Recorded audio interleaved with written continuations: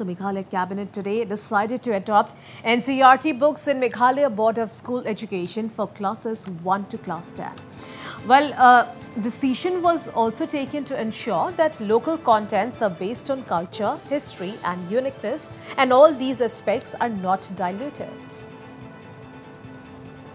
proposal uh, for adaptation of NCERT textbooks uh, based on uh, certain modifications in certain subjects uh, will be done by MBOSE uh, from now on. And uh, this decision has been taken. And by that I mean in the coming uh, academic year the process is going to start.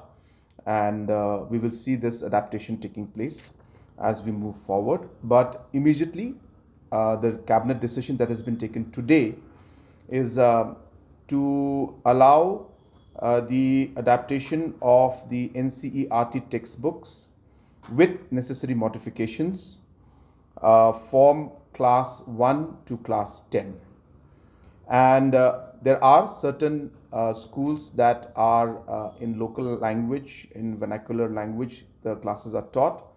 For them from class 1 to 5 the adaptation or the necessary changes in the uh, the language will be done. And uh, once the translation and language is done then the adaptation will take place